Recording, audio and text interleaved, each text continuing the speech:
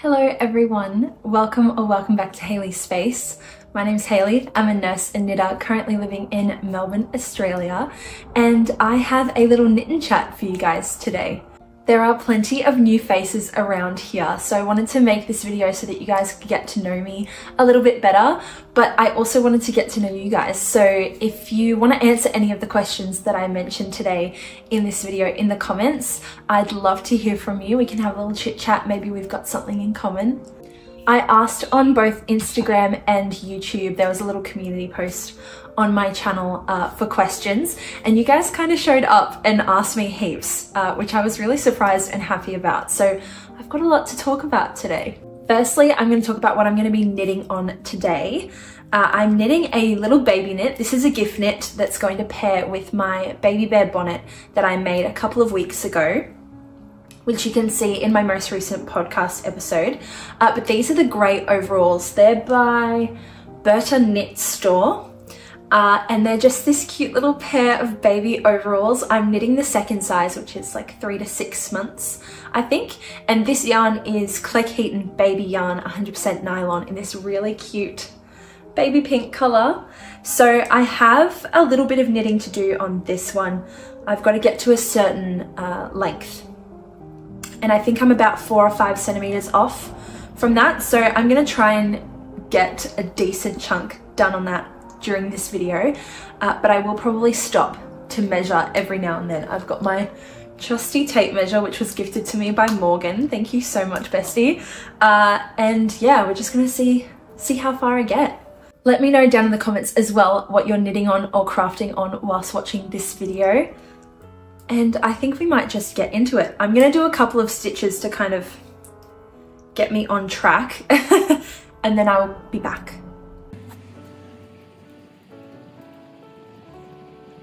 Okay, the first thing I wanted to talk about was my surprise knit along, which you guys might have seen I posted about on Instagram as well as uh, here on YouTube. But Morgan and I have decided to do a knit along of the Salty Days sweater by Kutovakika. We're running this knit along from September 1st to November 30th. So there's still plenty of time to sort out your yarn, to join the group chat and to get involved. Uh, there's no real strict rules with this knit along either. We don't have any prizes or anything like that. It's just a bit of fun and to uh, make some friends whilst knitting the same pattern. So even if you've already cast it on, I know a couple of people already have it as a WIP who have joined the knit along. Um, even if you've already cast on, feel free to join as well. We'd love to hear your tips and tricks as we all uh, knit along on this project.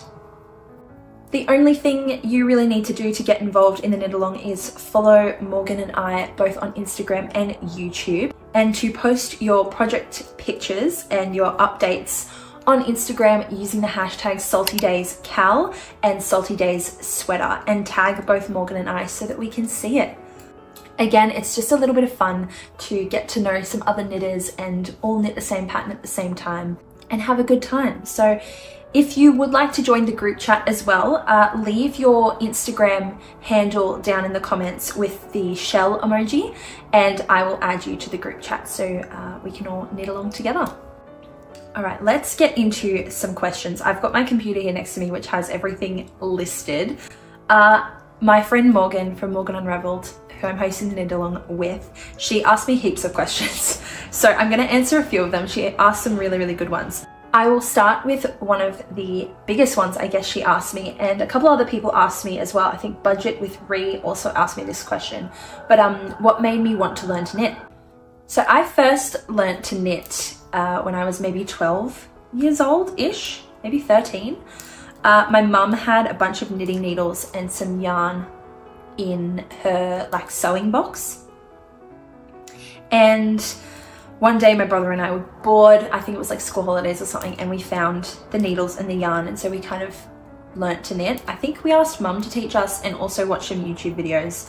But the needles, I think were probably like two millimeter needles and the yarn was so, so, so thin. It was like lace weight yarn. And my brother and I both, both cast on scarves.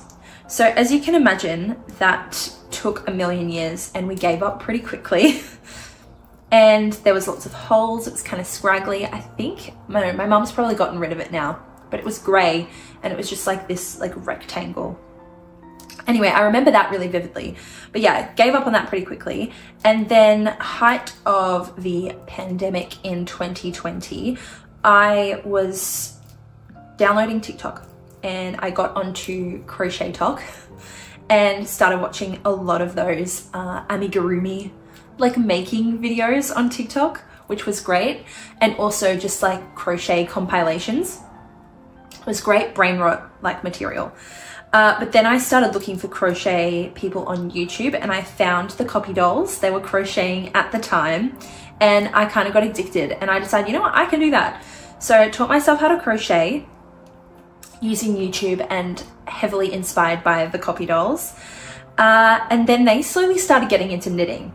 And I was like, oh no, there's no way like I'm gonna do that. Like that's just too hard. Like I don't think I'm a knitter. I really love crochet. But then I crocheted up my first garment. I crocheted a jumper, just um, literally self-drafted, the most dodgy thing you've probably ever seen. I think I knit like two rectangular panels for the front and the back, joined them and did a ribbed crochet ribbed neckline and then knit the or crocheted the sleeves in the round and attached a ribbing onto those super dodgy, did not look great. And I decided that I hated it. and I hated the way crochet garments looked, just with the way that I was making them. And so I caved and I got some knitting needles and some yarn from Spotlight and I taught myself how to knit, again, heavily influenced by the Kopy Dolls. And sort of the rest is history. Four years later, we're here. I think my first year to two years of knitting I didn't really make a lot of garments and a lot of like things. I don't know. And I think I frogged a lot of them or threw them out or gifted them.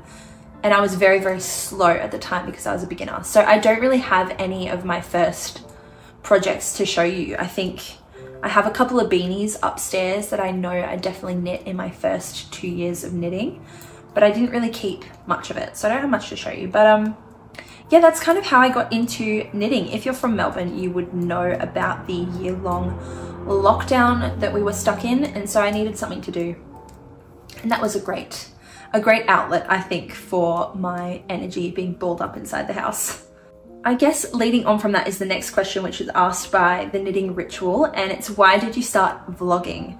So as I said, I started watching like knitting and crochet YouTubers and watching the Kopy Dolls and they started kind of really doing podcasts and things like that which led me down the rabbit hole that is knitting podcasts on YouTube and I found some other great ones that I really enjoyed uh, and I just felt really inspired but I didn't really feel like I was good enough or capable enough to make a podcast until last year uh, when I posted my first episode which was almost I think exactly a year now a little over a year I felt a lot of, I guess, intimidation and imposter syndrome when I first started podcasting. But I think because it's something that I'd wanted to do for so long, like so, so long, I think it, um, I got over that fairly quickly, I guess. Uh, and I kind of found my rhythm and found what I enjoyed doing and, and how I enjoyed editing. And whilst it's still changing and shifting all the time, uh, as we do, um, I'm still enjoying it and I'm still glad that I did it. So yeah, that's kind of why I started. I was heavily inspired by a lot of other knitting podcasters and just decided I want to do that. I want to share my knitting. I think also when my boyfriend moved away, I kind of lost that outlet where I could share my knitting with somebody else. I'm just to check that I'm doing this pattern right. Yes, I am doing the pattern right. Oh my god, I panicked. Uh, yeah, so when my boyfriend moved away, I kind of lost someone to talk to about my knitting. You know, he joined the army, which meant he couldn't talk every day. Uh, still can't talk every day. And so I was like, you know what, I'll start a podcast because I don't have any friends who knit. So I might as well share it with the internet and find a community of people who also enjoy knitting. And that happened. yeah, I've been grateful every single second since I started the channel for all the people that I've found and all the people that I've spoken to and all the things that I've learned as well. I feel like I've come a really long way as a knitter and as a person um, just from meeting a wide range of people from different backgrounds and experiences, but who have all come together to share this hobby. It's, it's really nice, it's really wholesome. Again, that kind of leads us to the next question, which quite a few people asked me as well. Um, there was quite a few common questions, but it was favorite lesson that I've learnt in my knitting journey. I think I'll start with a big one, which is patience. I am quite an impatient person. I like to have things in my hands straight away. And if I'm not good at something straight away, I will kind of not really put much into it. So starting knitting and facing a lot of challenges with that, with learning a new skill and trying to train my brain to do this weird activity with my hands, uh, it taught me a lot of patience and also resilience just to sit there and be mindful and really put in a lot of effort and focus into one into one thing. I think that's probably the biggest lesson that I've learned so far and I'm still learning it, you know. I find sometimes I go down a rabbit hole of wanting to finished objects really quickly and I often have to remind myself to slow down and just enjoy the process. So I'm always learning patience. I think technique wise, I have learned that you can always think back. You can always ladder down and you can always fix it. There's no need to frog every single time. Uh, you can always, almost always, find a way to think back and fix your mistakes without ripping the whole thing apart. and I've mainly learned that from you guys. Uh, I've had some really helpful comments over the last couple of podcasts of people teaching me how to fix my mistakes in knitted work, especially in cables. Um, my book club cardigan has been a real learning curve for me in terms of cable mistakes and uh, textured mistakes and how to fix those without ripping the whole thing apart. And so yeah, I'm really appreciative to all of you guys for teaching me that lesson and giving me a lot of helpful resources as well to fix my mistakes. Sam's Handmade Stuff on Instagram asked me as well, what knitting technique are you most proud of yourself for learning? And I definitely think cables is my top technique that I've learned so far and how to fix cables. I thought cables were really intimidating when I first started knitting, but they were something that I really, really wanted to do because they just look so delicious. I really, really, really desperately want to finish like my Moby sweater and I can't wait to knit a cable sweater for my dad. And whilst I don't particularly enjoy doing cables, I just don't think I've found a way that is efficient and comfortable for me just yet. I still am proud of myself for learning it. My first big sweater that I knit up was for my mum and that was a cabled sweater. And whilst it's not my finest piece of work, uh, it's probably one of the ones that I'm most proud of. So yeah, cables for sure. Okay, next question is from Apricot and Honey Co on Instagram, who's just joined the knit along. Hi, if you're watching. I added them to the group chat literally yesterday, so very exciting.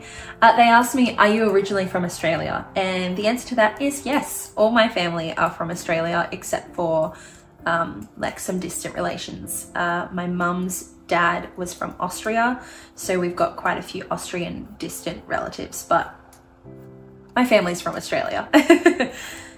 I was born in Western Australia, and then when I was a couple months old, my parents moved us to Queensland and so I went to primary school in Queensland until I was about, I think 11 or 12 years old. And then we moved back to Western Australia. I did my high school years in WA in Perth. And then for university, I moved here to Victoria, to Melbourne to study. And yeah, I've been here ever since. But uh, there is potentially another big move in the works. Um, but I won't talk about that much yet because even we don't know if it's 100% confirmed. So I won't get carried away with talking about that, but yeah, from Australia.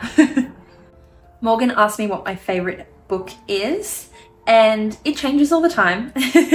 but I think my the book that I would reread over and over again would either have to be Love Hypothesis or A Court of Mist and Fury.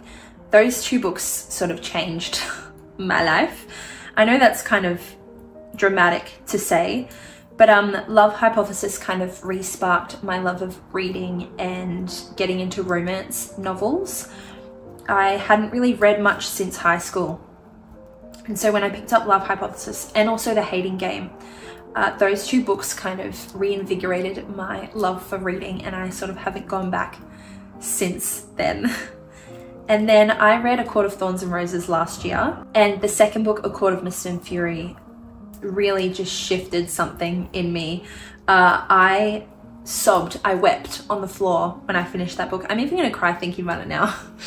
that book is so beautifully written and the way Sarah J Maas talks about her characters and describes her characters is just so beautiful and the story is so gut-wrenching. Uh, if you haven't read A Court of Thorns and Roses, I suggest you do. It is uh, romantasy, so fantasy with quite a bit of romance. I would say that the highlight is on the romance rather than the fantasy. Uh, but it's a great one if you haven't really read much in the last couple of years. You know what I mean? My brother actually binged uh, A Court of Thorns and Roses last month and finished all of them. uh, so we had a lot to talk about with that. And they're just great books. So definitely highly recommend. Uh, but also I am a big Harry Potter fan. So any of the Harry Potter books I will love forever and ever and I will continue to reread them every year till I die, I reckon. I think my favorite of the Harry Potter books is definitely either Goblet of Fire or Order of the Phoenix. I just love the vibes and the energy in those two books. So yeah, those are my favorite books. Morgan also asked me what my top three Taylor Swift albums are. Number one is Reputation. Uh, Reputation sort of reinvigorated my love for Taylor Swift because um, obviously she went quiet for a little while. I loved 1989 when it came out. Uh, but then, yeah, she went quiet for a little while, so I didn't listen to her music for quite a long time. But uh, then Reputation came out, and I was like, oh my god, no, yeah, we're back. and something about that album will just live in my soul forever. I absolutely love it. I don't think there's anything wrong with the album. I think it's a perfect album. My second favorite is definitely Folklore. Folklore gives like witchy forest fairy vibes and I hope to one day be a cottagecore forest fairy. Uh, but I also think it's my favorite of her albums because of its lyrics and because of its story. I think she just did such a beautiful job with that album, especially during a time when everyone was not really sure what was going to happen with the state of the world. So having that as kind of a crutch to lean on was really, really nice. So yeah, that's my second favorite. And then my third favorite would have to be Red. Uh, Red was the first Taylor Swift concert that I went to and I loved it. I cried during All Too Well. Yes, I was like, what, 13 years old? but I cried during All Too Well and I loved it. So that album holds a special place in my heart and Red Taylor's version I absolutely fell in love with. I Bet You Think About Me is probably one of my favorite Taylor Swift songs and I will listen to it till the day that I die. okay, back onto knitting. Lots of people ask me for my un unpopular or controversial knitting opinions. And I don't really know if like I have any. I don't know if that's kind of a cop out, but uh, I don't know what's actually controversial in the community or not. I think one that I hear a lot of discourse about is Magic Loop and I love Magic Loop. I really enjoy it, especially for socks. I don't know if that's unpopular or controversial. Uh, I'm sure there's lots of other people out there who love Magic Loop, but I have heard of lots of people who absolutely hate it and refuse to do it. So I don't know if that counts, but yeah, Magic Loop. I got a lot of questions as well about uh, what stores I buy my yarn from here in Australia and what are my favorite yarn stores in Australia. And I have to be honest with you, a lot of my yarn has been bought from Spotlight. Uh, I obviously began in crochet, which meant a lot of the yarns that I bought were acrylic yarns from Spotlight. So I've only really started getting into more higher quality yarns from uh, smaller yarn stores. Two that I have been to that I really love are Morris and Sons. Morris and Sons, there's one in Sydney and then there's one in the city here in Melbourne. And I included it in a vlog. I don't remember when, uh, but I'll put it here somewhere so you can have a look. But yeah, I went there for the first time and absolutely loved it. I adore that store. It's so, so beautiful. I want to go back soon uh, with a project in mind so I can actually buy some yarn. But yeah, Morris & Sons is a great one. Another one which is literally around the corner from me is Sunspun, which is a really gorgeous, really small uh, craft store or knitting store here in Melbourne. And I love that store. It's so, so cozy. I think they do knitting classes and knit nights and stuff like that there as well. I haven't been in ages, but uh, I do want to go back obviously with another project in mind so I can buy something there. But that was the first like nice knitting store that I had ever gone to. So I saw like Isager, mohair and stuff like that in person for the first time. So I was a little bit starstruck. So I definitely want to go back. So those two are great if you're based in Melbourne and you want to go to an in-person yarn store. If you do have any suggestions as well for yarn stores in Melbourne specifically or in the rest of Australia please let me know I'm always keen to hear about some more options for buying my yarn. As for buying yarn online, I know the Yarn Trader is supposed to be great. For buying yarn online in Australia, I have never bought from them before, uh, but I've heard they're supposed to be quite good. I'm not too sure about their variety. I had a look the other night at what yarns are available on there. If you're based in Australia, uh, it can be hard to get your hands on some higher end or popular brand yarns. So check out Yarn Trader. Otherwise, there's also Wool Warehouse, and whilst that's based in the UK, their prices are actually quite decent, especially for any drops yarn. That's where I ordered my first ever drops yarn from. And their prices are quite low. They're always in line with the sales that Drops has going on. I think at the moment there's like an alpaca party drops sale going on. It's like 30% off or something. So uh, they're always keeping up with those. So if you want to try drops yarn definitely check them out. And their shipping prices aren't that egregious. They're actually okay for Australia. So definitely check them out as always though, please leave any yarn store recommendations in the comments for everyone to see. Okay, Rochelle from Queen's Yarn Boutique asked me if I ever have trouble getting my knitting needles through airport security. And the answer is so far no. You guys may have seen that I have traveled quite a bit this year. That's just the way the year has sort of gone. And I have never ever had trouble getting my knitting needles through security, both domestically and internationally. So I knit pretty much exclusively with metal needles. And I was concerned when I first started knitting about taking my knitting on the plane, but I checked uh, Australian border security laws and knitting needles are not prohibited. They're actually part of the accepted list, but it does depend on the airline. I know Qantas has in their policy that knitting needles aren't prohibited. You're allowed to take them on Qantas flights. Uh, but I'm not sure about other airlines and just always just be mindful um, that it is a possibility that some airports may not act in line with the border security laws but you can always pull up a copy and go well I was following this so whatever. But yeah just be mindful. Don't take my word as gospel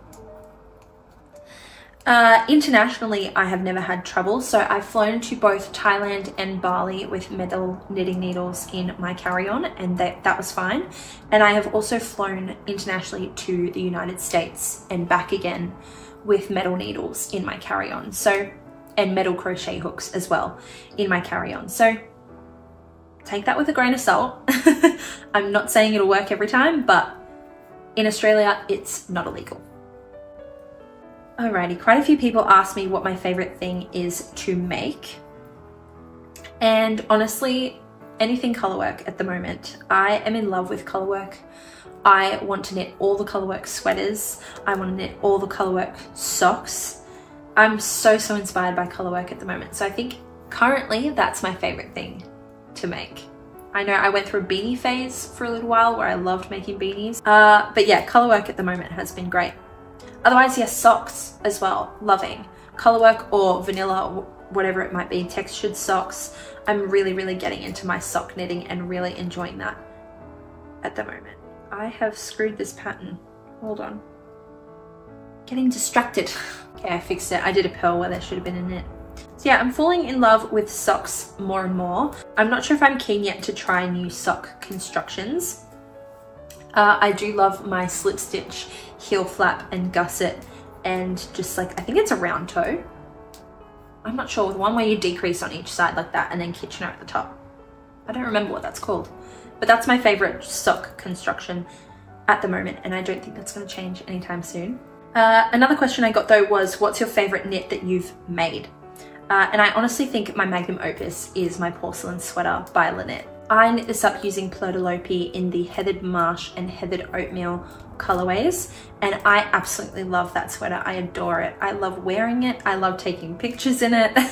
it's so incredibly cozy and I think the colorwork design is just gorgeous. I would like to knit up another one uh, with the colors inverted. So having white as the background and I was thinking maybe a, like an emerald mossy green for the colorwork. Uh, but who knows when I'll get around to doing that. I know it's on my list, but who knows if I'll get there. But yeah, that's my favorite thing that I've ever knit at the moment. I'm gonna give this a quick measure because I don't want them to be too long for baby. I'm at the point where I need to do some changes to the pattern. So the last question that I have today is who are some Australian YouTubers who inspire you? Uh, and also, can you re recommend any other Aussie YouTubers? So I'll start with those that inspire me. Um, I'm going to start with Ally from FibreBound. She was one of the first podcasters that I started watching sort of religiously um, Australian, I should say. Um, and I adore her videos. I just, I find her content so cozy and so nostalgic for me in terms of learning to knit. Another YouTuber who inspires me, who isn't Australian, uh, is Penrose Knits. She was the very, very first uh, podcaster that I started watching. And I get emotional very easily, but uh, Laura from Penrose Knits, she really changed my perspective on a lot of things in both life and in knitting. I've learned a lot from watching her videos and I just really, really enjoy her content. I recently found Ash from Smash Knits, literally this week. Uh, I didn't know that she made videos and I love them. I love her aesthetic, the bright colors, the pinks, everything. So Ash from Smash Knits is another great Aussie podcaster. Uh, I'll list off a few as well that I watch um, quite regularly. So Kath from the Mindful Melbourne Maker, uh, Alex from the Serenity Knitting Society, and Sian from the Obsessive Maker podcast. I watch all of those people a lot. uh, and it brings me so much joy when they bring out new videos. But yeah, if you're looking for some Aussie podcasters, definitely check those out. A new one that was recommended to me recently was uh, Tash from Mostly Knitting. She's also Australian and I've only watched one video from her so far, which I thoroughly enjoyed. So check her out as well if you want. And I've had some other recommendations in my comments because I ask quite regularly for you guys to recommend some Australian podcasters. Uh, but these ones I haven't had the chance to watch any videos from yet. Uh, so I'll suggest them here but I haven't watched them yet. Uh, so I've got Kukie Knits, Oliphant Kat Knits, Pepper Knits, Kel Knits, and Clare Likes to Knit. uh, I will list all of those in the description box below so you can go and check them out. Uh, but yeah, as I said, I haven't I haven't had the chance to check them out myself yet, so I hope you enjoy them. Um, other Aussie YouTubers that I enjoy who don't Talk About Knitting. Uh, Chloe from Chloe Bunnie. I think she used to be called something else because uh, she was mainly a booktuber for quite a while and also like a journaler um, on YouTube. Uh, but she sort of shifted her, I guess like you could say branding or style of videos and stuff. She does more vlogs now. She still does like reading vlogs and things like that. Um, but I love, I love her videos. I've been watching her for years. So if you're into uh, kind of gothic, but also girly vibes, like girly gothic vibes, uh, and reading, definitely go check Chloe out. Otherwise, uh, Cups and Thoughts is another great YouTuber. They make really aesthetic, cozy videos, uh, just subtitled videos. Uh, but as far as I can discern, I believe they're from Western Australia, uh, near Perth. So uh, when I figured that out, I was like, oh my God, another West Australian. But yeah, their videos are so, so beautiful. So if you do get the chance to check them out, I definitely highly suggest that you do uh, for some cozy, wholesome content. Those are all the questions I have, guys. And I've made some pretty decent progress. I'm ready to cast off some stitches for the armholes on these overalls, which is fantastic. I was kind of dreading work working the rest of the the body on these overalls because it was just taking forever. So I'm really happy that I got to smash smash that out. Alrighty. My gosh, I feel like that went by so quickly. Normally I just talk everybody's ear off. I don't know how long I've been filming for. But uh, thank you so much for joining me today. I really hope you enjoyed it. I've been wanting to film this video for so long now, so I'm so glad I actually got to sit down and speak to you guys a bit more casually. I am vlogging this week, so next week you're gonna see uh, what I've been doing this week. You'll see a little bit more as well on the process of these overalls as well as some other knits that I'm getting up to. Don't forget as well, if you're keen to join the Salty Days knit along, uh, comment your Instagram handle down below with the shell emoji. And be sure to follow both Morgan and I on Instagram and here on YouTube uh, so we can add you to the group chat and you can knit along with us throughout September and November. Please remember to like and subscribe. That always helps this video reach a bunch of other knitters as well so we can make even more friends. And I hope to see you guys in my next video. As always, I hope you're safe and well wherever you are, and I will see you next week. Bye!